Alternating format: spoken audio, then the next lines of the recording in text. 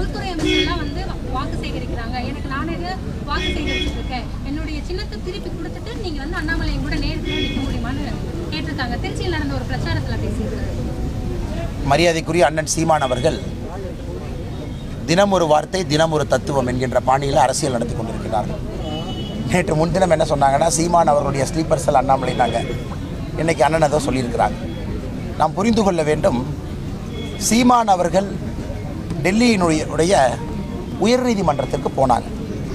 Election commission of இந்தியாவை எதிர்த்து. அப்போ எலெக்ஷன் கமிஷன் ஆஃப் இந்தியா அண்ணன் சீமான் அவர்கள் டெல்லி உயர்நீதிமன்றத்தில் வாதம் வைத்தார்கள். இன்றைக்கி அண்ணன் சீமான் அவர்கள் சரியான நேரத்தில் தன்னுடைய சின்னத்திற்கு அப்ளை பண்ணாமல் அந்த சின்னம் கிடைக்கவில்லை என்று அவருடைய தொண்டர்கள் கோபத்தில் இருக்கிறாங்க போல. அதனால் தன்னுடைய தவறை மறைப்பதற்காக தினமும் கூட பாரதிய ஜனதா கட்சியின் மீதும் என் மீதும் குற்றம் சொல்வதை மக்கள் எப்படி ஏற்றுக்கொள்வார்கள்? டெல்லி உயர்நீதிமன்றத்தினுடைய தீர்ப்பு என்ன? அந்த காலகட்டத்தில் நீங்கள் அப்ளை பண்ணியிருக்கணும் நீங்கள் அப்ளை பண்ணல. அது சீமானவங்க சொன்னாங்க இல்லை சென்னை வெள்ளம் வந்துச்சு அதனால் அப்ளை பண்ணல. அப்போ டிடிவி தினகரனுக்கு சென்னை வெள்ளம் வரலையா? இல்லை தமிழ் மாநில காங்கிரஸ் அண்ணன் ஜி கே வாசன் அவர்களுக்கு சென்னை வெள்ளம் வரலையா? அவர்கள் எல்லாம் அதே குறிப்பிட்ட நேரத்தில் தங்களுடைய சின்னத்திற்கு அவங்க அப்ளை பண்ணி வேறு யாருமே அந்த சின்னத்திற்கு அவர்கள் முன்பு அப்ளை பண்ணாதனால ஆட்டோமேட்டிக்காக ரெனியூவல் ஆயிடுச்சு இதான் டிடிவி தினகரன் அவர்களுக்கும் மரியாதைக்குரிய அண்ணன் ஜி கே வாசன் அவர்களுக்கும். சீமான் அண்ணன் அப்ளையே பண்ணல. அதற்கு முன்பாக இன்னும் யாரோ ஒருத்தர் அப்ளை பண்ணி அதை வாங்கிக்கிட்டாங்க. அந்த நண்பர் தமிழகம் முழுவதும் பத்திரிகையாளர் சந்தித்து அவர் பேசிகிட்டு இருக்காரு. கட்சி அவருடைய கட்சி சார்பாக அவர் பேசிட்டு இருக்காரு. இங்கே பாரதிய ஜனதா கட்சி எங்கே வந்துச்சுங்க? இல்லை அண்ணாமலை எங்கே வந்தார்கள்? இல்லை இங்கே இருக்கக்கூடிய எங்களுடைய வேறு மா தலைவர்களோ தொண்டர்களோ எங்கே வந்தாங்க? அதனால் லாஜிக்கலாக ஒரு கேள்வி இருக்கிறா பதில் சொல்லலாம். லாஜிக்கலாக கேள்வி இல்லைன்னா எப்படி பதில் சொல்ல முடியுங்க? இல்லை நாங்கள் அப்ளை பண்ணியும் இன்னொருத்தர் எங்கள் பின்னாடி அப்ளை பண்ணாங்க சிம்பிளை கொடுத்துட்டாங்கன்னா நாங்களே சீமானனுக்கு சப்போர்ட்டாக களத்தில் வந்து பேசுகிறோம் அவர் செய்த தவறை மறைப்பதற்காக தினமும் எங்கள் மீது பழி போட்டால் எப்படி? தமிழகத்திற்கு துரோகம் செய்யும் பார்ட் டைம் அரசியல்வாதியாக பிரதமர் மோடி சிஎம் அண்ணே இன்னைக்கு சிஎம்ஐ பற்றி ஒரு வார்த்தையை கரெக்டாக சொல்லணும் அப்படின்னா அப்பப்போ தமிழ்நாட்டுக்குள்ளே எட்டி பார்க்குறாரு. ஸ்பெயின் போகிறாரு துபாய் போனார் சிங்கப்பூர் போனார் ஜப்பான் போனார். இதெல்லாம் வந்து நம்முடைய முதல்வர் எங்கே போனார் அப்படிங்கறக்காக கடந்த மூன்று வருடத்தில். அவர் போனதிலிருந்து நமக்கு பிரயோஜனமாக ஏதாச்சும் பணம் வந்திருக்கா? கண்டிப்பாக வரல. அதனால் முதல்வர் அவர்கள் என்ன பண்ணிட்டாங்கன்னா இன்றைக்கி அவர் களத்துக்கே வராதனால அந்தந்த மாவட்டத்தினுடைய அமைச்சர்கள் கொள்ளையடிப்பதில் மட்டும் முழு நேர பணியாக வைத்திருக்கின்றார்கள். மக்கள்கிட்ட எவ்வளோ பணம் வாங்கலாம்? போட்டி போட்டுக்கொண்டு எவ்வளோ சம்பாதிக்கலாம்?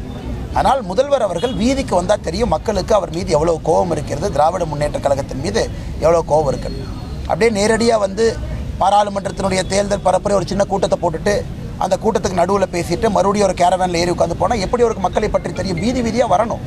முதல்வர் அவர்கள் வருவதில்லை. சரி இதே முதல்வர் ரோட் ஷோ வர சொல்லுங்களே பார்க்கலாம். ரோட் ஷோ வந்து ஒரு பத்து கிலோமீட்டர் ரோட் ஷோ வந்து தமிழ்நாட்டினுடைய ஒரு நகரத்தை அவரே தேர்ந்தெடுத்து ரோட் ஷோ வரட்டும். எத்தனை பேர் முதல்வரை பார்க்க வர்றாங்கன்னு பார்க்கலாங்கண்ணா நான் சவால் விடுக்கிறேன். அதாவது ஒரு ஆர்கனைஸ்டாக ஒரு க்ரௌடை கொண்டு வந்து பேசுவதை விட ஏன் முதலமைச்சர் அவர்கள் ரோட் ஷோ வர்றதுக்கு பயப்படுறாங்க? பிரதமர் அவர்கள் கோயம்புத்தூரில் ரோட் ஷோ வந்துட்டு போயிருக்கிறாங்க. மரியாதைக்குரிய அமித்ஷாஜி அவர்கள் நாளை தேனியில் ரோட் ஷோ வர இருக்கிறாங்க.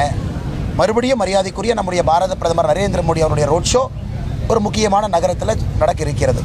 இதெல்லாம் கூட மக்களை வந்து சந்திக்கிறாங்க. இரண்டு மூன்று மணி நேரம் நிற்கிறாங்க அங்கே இரண்டு மூன்று மணி நேரம் அந்த வண்டியிலிருந்து இடது பக்கம் வலது பக்கம் சாதாரண வேலை இல்லைங்கண்ணா இரண்டு மூணு மணி நேரம் யாராச்சும் நின்று பார்த்தா தெரியும்.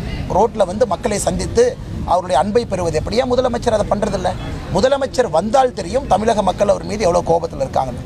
அதனால் ஒரு மாய உலகத்திற்குள்ள அவரே கட்டிய கோட்டைக்குள் அமர்ந்து கொண்டு பிரதமரை குறை சொல்லிக் கொண்டிருக்கின்றார்கள். பிரதமர் உழைக்கக்கூடிய உழைப்பை முதல்வர் செய்கிறாரான்னு பொதுமக்கள் முன்னாடி நாங்கள் வைக்கிறோம். பத்தாண்டு காலமாக பிரதமரை பார்த்துருக்கீங்க.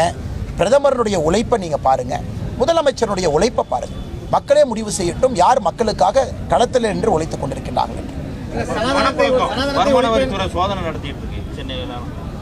அப்படியாங்கண்ணா? அப்படியாண்ணா. அண்ணா கண்டிப்பாக நாங்களாம் இங்கே தான் பிரச்சாரத்தில் இருக்கிறோம். பணம் அதிகமாக இருக்கவங்ககிட்ட வருமான வரித்துறை சோதனை பண்ணுறாங்க பணம் இல்லாதவங்ககிட்ட என்ன சோதனை பண்ண முடியும்? ஏங்கண்ணே பணம் இருக்கிறவங்ககிட்ட சோதனை பண்ணுறாங்க அவங்கள தான் கேட்கணும். தேர்தலை பொறுத்தவரை அண்ணா நீங்கள் ஒன்று புரிஞ்சுக்கணும். இன்கம் டேக்ஸ் டிபார்ட்மெண்ட் வந்து எலெக்ஷன் கமிஷனுக்கு கீழே தேர்தல் நேரத்தில் தனியாக ஒரு செல் போட்டு பணியாற்றுவாங்க. அது எல்லோருக்குமே தெரியும். வரக்கூடிய அந்த சி விஜில் ஆப்பில் வேறு வேறு சோர்ஸில் இன்ஃபர்மேஷன் கொடுக்கும் பொழுது அதை எலெக்ஷன் கமிஷன் ஐடி டிபார்ட்மெண்ட்டை ஷேர் பண்ணி அவங்க பண்ணுறாங்க இதுதான் நடைமுறை. இன்னைக்கு எங்கே நடத்துனாங்க யார் நடத்துனாங்கன்னா சத்தியமாக தெரியாதுங்கண்ணா நாங்கள் எங்கள் பாட்டுக்கு பிரச்சாரத்தில் இருக்கோம்.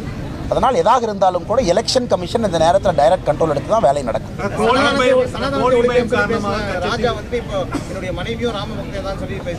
ஆனால் திமுக எப்படியுமே பார்த்தீங்கன்னா இரண்டாயிரத்தி இருபத்தி ஒன்று தேர்தலுக்கு முன்னாடி எல்லா வேலா எடுத்துட்டு சுற்றுனாங்க எந்த கடையிலையும் வேலை இல்லை.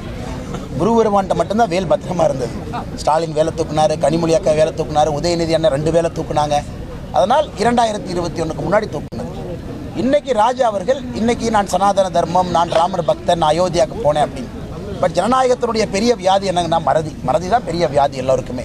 ஆனால் இந்த முறை மக்கள் சரியாக ஞாபகம் வைத்துக்கொண்டு இரண்டாயிரத்தி இருபத்தி நான்கு தேர்தலில் யாரெல்லாம் பொய் வேஷம் போடுறாங்க? உண்மையாலுமே நீங்கள் சனாதனத்தை எதிர்க்கிறீங்களா? டெய்லி எதிருங்க. அதே எலெக்ஷனுக்கு முன்னாடி எதிர்க்கிறீங்க எலெக்ஷன் அப்போ பட்டையை போட்டுக்கிறீங்க எலெக்ஷன் முடிஞ்சு மறுபடியும் எதிர்க்கிறீங்க. அதனால் இது தமிழக எலெக்ஷனில் வாடிக்கை நாங்கள் தான் கேட்டோமே இரண்டாயிரத்தி இருபத்தி ஒன்று பாராளுமன்ற தேர்தல் தமிழகத்தில் ஹிந்து தர்மத்தை வைத்து சனாதன தர்மத்தை வைத்து இல்லை எல்லா மதமும் கிறிஸ்தவ தர்மம் இஸ்லாமிய தர்மத்தை வச்சு நடத்தலாமான்னு கேட்டதுக்கு உதயநிதி ஸ்டாலின் என்ன சொன்னார்? இல்லை இல்லை இந்த எலெக்ஷன் வேண்டாம் அதுக்கப்புறம் பார்க்கலாம் இதுதான் இவருடைய போலி சனாதன தர்மங்கள். செய்திகளை உடனுக்குடனும் துல்லியமாகவும் தெரிந்து கொள்ள சப்ஸ்கிரைப் பண்ணுங்கள்